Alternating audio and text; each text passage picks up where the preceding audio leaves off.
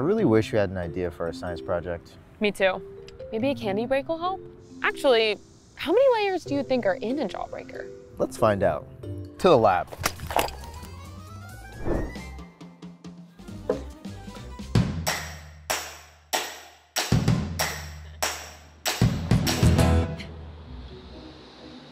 Hi, Nord Anglia. I'm Paula Hammond, and I'm a chemical engineer. Professor Hammond is one of the coolest people you'll ever meet. She works at the Koch Institute at MIT, which is a cancer research center that brings together scientists and engineers to come up with new ways to fight cancer. In our work, we create these nanoparticles which contain different drugs in different layers. But what is a nanoparticle? Nanoparticles are extremely tiny. So if we think about the thickness of one of our hairs, imagine slicing that hair 100 times. And now that slice is the size of our nanoparticle.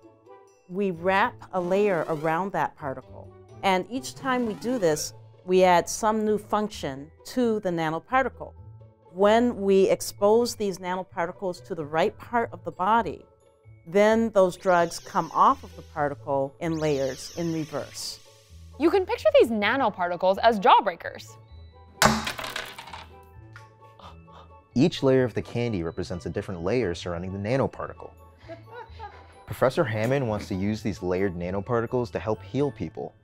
When we make these layered systems, we often make them to address cancer. We start with a nanoparticle, and inside we put a drug that we know will kill a cancer cell. But a lot of cancer cells have become resistant. So what we can do is wrap our nanoparticle with another layer that actually turns off the ability of those cells to resist the drug. Can you think of other tiny innovations that have a big impact on your life? Or an example of layers working together. How about a microchip to help find your lost pets, or the layers of a water filter? A water filter. That's a great idea for our science project. Oh yeah. Hey Nord Anglia, here's your challenge. Think about solving a problem by creating something incredibly small, very tiny, or something that has layers, where the different layers have different functions. Then think about what you would do with your creation.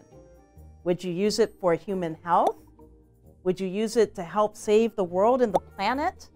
Maybe climate or energy? Or maybe just something really cool, something that you would love to have.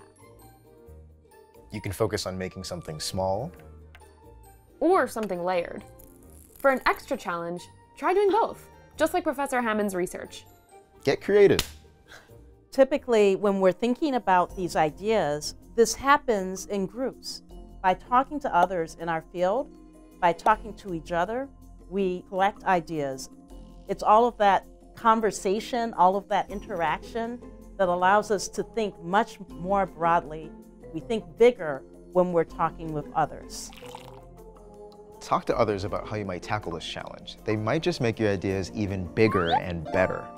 Or smaller, in the case of nanoparticles. Ooh, we should add a silver nanoparticle layer to our filter. Great idea. But first, a candy break.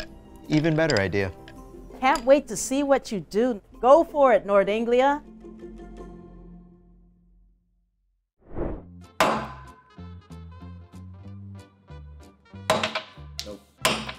Ooh. Man.